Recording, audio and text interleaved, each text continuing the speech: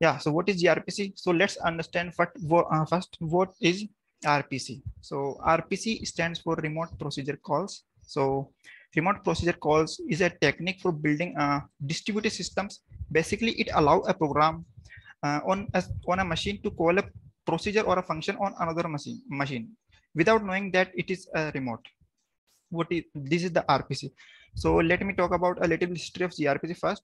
Like uh, in 2015, Google developed the RPC as an extension of the RPC framework uh, to link many microservices created with different different different technologies like uh, different different programming languages like Java, Python, anything else. And uh, initially, it was closely associated with Google's internal uh, project, basically infrastructure. So, but later it was made open source uh, during and uh, during the first year of its release it was adopted by uh, a lot of organizations uh, like Netflix to use their streaming and uh, there are a lot of techniques like IoT devices who adopted this as their framework. So what is gRPC? gRPC is a robust open source RPC framework used to build fast APIs. Why this is fast? I'll show you in next it is. So it is allowed the client and server applications to communicate transparently and develop connection system, right so uh, and already many uh, popular firms have adopted grpc such as uh, google netflix ibm etc so and this framework basically relies on the new http version http2 and protocol buffers. And these are the languages which currently support the grpc like the proto compiler we support. These are the languages. And yes you might be thinking that what G stands for in gRPC.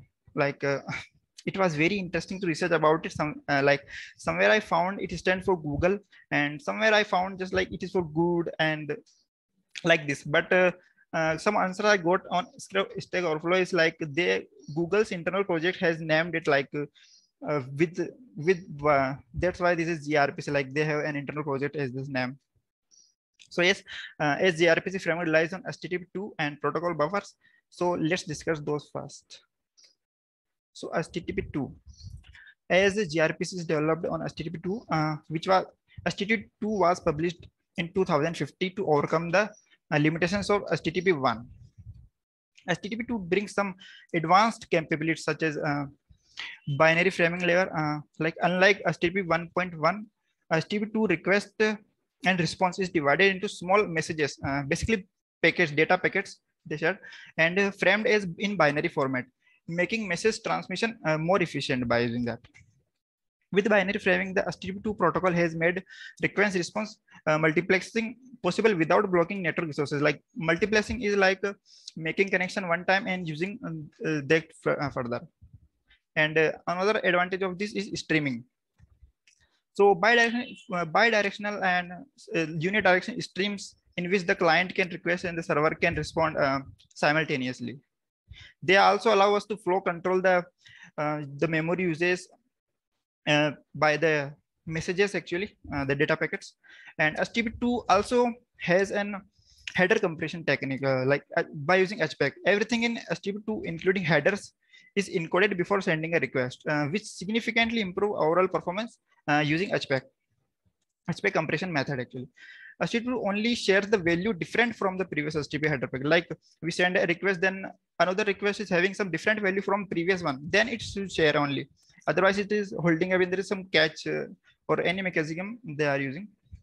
So yes, this is making the processing with HTTP2 gRPC supports both uh, synchronous and asynchronous processing actually. Uh, yeah, so all these features of HTTP2 enable gRPC to use uh, less resources, which result in reduced response times between apps and services which are running on the cloud. So let's talk about protocol buffers. So protocol buffers, they are also sometimes uh, mentioned as protobuf, is Google's serialization deserialization protocol that enables the easy definition of services and auto-generated client libraries gRPC uses this protocol as their uh, interface definition language and serialization toolset. Mm, and its current version is Proto 3 actually, which I have mentioned. uh, basically gRPC services and messages between clients and server are defined in proto files, like the payloads, the data payloads. The uh, and the protobuf compiler, pro they, they are having a proto uh, compiler which generates the client and server code actually for us. And at the runtime, they load the dot proto file into the memory and uses in memory schema to serialize and deserialize the binary message. And uh, yes, uh, one more thing I would like to mention is parsing with protobuf requires fewer resources uh, since data is converted into binary format like and encoded messages are lighter in size. So messages are exchanged faster even in machine with uh, which have a lower cpu power such as like mobile devices. But for now we are they are having value so this is the basic development workflow like we need to install the dependencies the proto compiler write our proto files and uh, generate the code using proto and uh, implement the services in the server and uh, client just use this and just test and deploy. This is the basic development workflow of uh, how it can wanna work. So let's talk about a quick quick demo. I would like to give a demo. Like yes, uh, let's start it with proto file.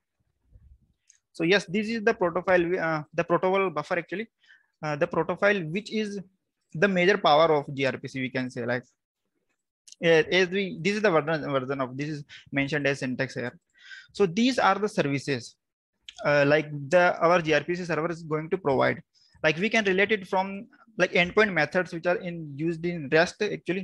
When we hit a request from rest then an internal method is called by the server. Like they are this is the service which is directly accesses, accessible to the client actually. And these are our structure basically uh, like we can define our data how it's going to be stored which what is the field name and how it is going to be stored by basically the payload holder. And one thing it is notable here is like one two three four what is that? Like why i have mentioned that? Actually they are required here. They uh, work as aliases uh, aliases of this uh, when when it got uh, serialized into the binary. Like it is this one is used as id when it is uh, converted into binary to trans to transport the data. So we can assume that how it is making everything is faster uh, by making small small changes. So yes uh, this was just a proto file and uh, what are the generated files? Actually there is a command uh, this help to generate the files. Uh, the client code and the server code files. This is this. I'll mention i have mentioned this in the references. Don't worry about that. Basically this is the language. Language i'm like go out. I'm using in go. So that's why this is go out. If you are using java then java out python out and everything else. So yes um, these are the files which are generated by the proto compiler which includes the some methods which predefined methods. We do not have to carry uh, worry about the methods of those those payloads actually. This is the client methods and this contains server methods uh, like which is going to be used in the server itself. Yeah and mm, yes i would like to show you a example like how it is faster than rest actually. So uh, yes. So is this server is the movies app is uh, developed on grpc and the movies app rest is developed on uh, rest actually I, am mentioning that so i'm what i'm going to do is run those both and uh, try to uh, try to figure out the size, different size, like uh, what is the different in the payload size. Uh, let me show you the payload first. Payload means the, our data in which is stored in an array. Like this is the movies a, a uh, variable which stores thousands of movie info. This same is also in the our rest. The, the same thing is on both sides, thousands and yes, this is movies variable. So let me run the JSON one first.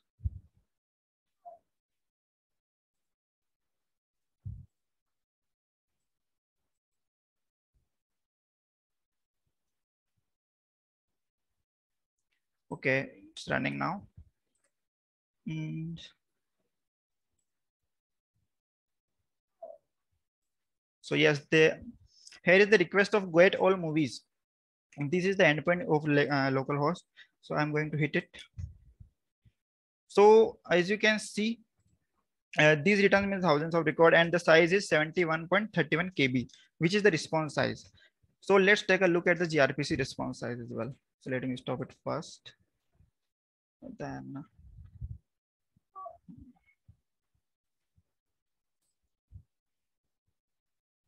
this one.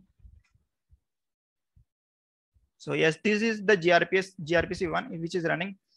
So let me um, explain it with Scratch, like how we how we gonna test our gRPC calls in Postman. Actually, this is currently in beta in Postman, but we can test uh, or some basic things in it. Like first of all, I need to provide the proto file here, uh, which is already selected for me, but you can select it by uh, click on there. Yes. Basically the library name which version you want to set uh, suppose 1.1.5 yes this prepared our data and the services which we define in our profile let, let me clear it to you as you can see these are the services which define our profile which is already imported by the uh, postman as you can see but let me give the post address first.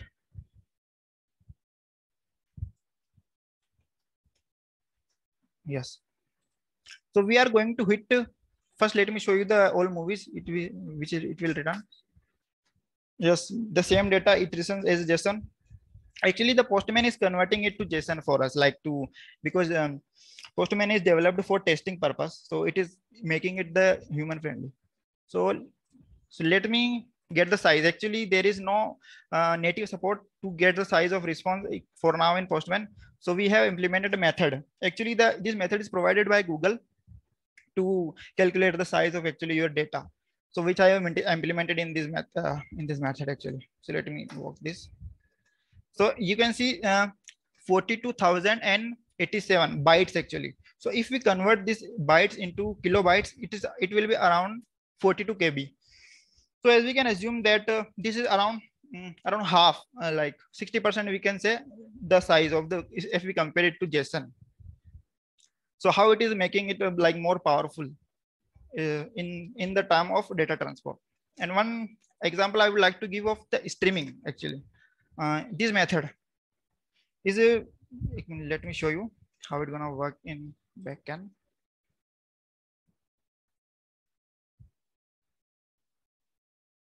Yes. So this is actually the auto, uh, we have the auto generated code first. So these servers implement the stream actually.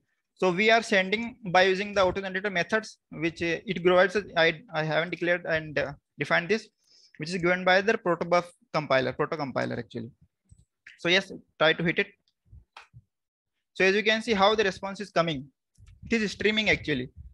This is uh, that is sending me one by one, one by one. So as we um, we can assume that how we can use in in some kind of real time update applications like where we need to get updated every second every millisecond. So yes this was the basic demo. Let's get back to the slide. So yes here are uh, grpc is offering many benefits in certain operations like performance. Uh, grpc offers up to around 7 to 10 percent faster faster performance than rest actually. Communication as it uses protobuf and http2 both are the the powerful things. Protobuf serialize the messages on the server and client side quickly resulting in small and compact message payloads. And http2 scales up the performance uh, via uh, via using multiplexing the header compression the aspect method actually so and http2 uses more advanced compression method to make the message smaller which can be another topic to discuss but yeah as for now which result actually the faster loading. And the second advantage of this streaming, gRPC supports uh, client or server side streaming. Uh, this makes it much simpler to build streaming services or client. A gRPC service support different different type of streaming like client to server, server to server, uh, like uh, client to server bi-directional as well. They can run simultaneously. In the code generation, which we have seen, like it generates the proto uh, compiler generates the code files for us the prime feature this is the prime feature of uh, grpc methodologically.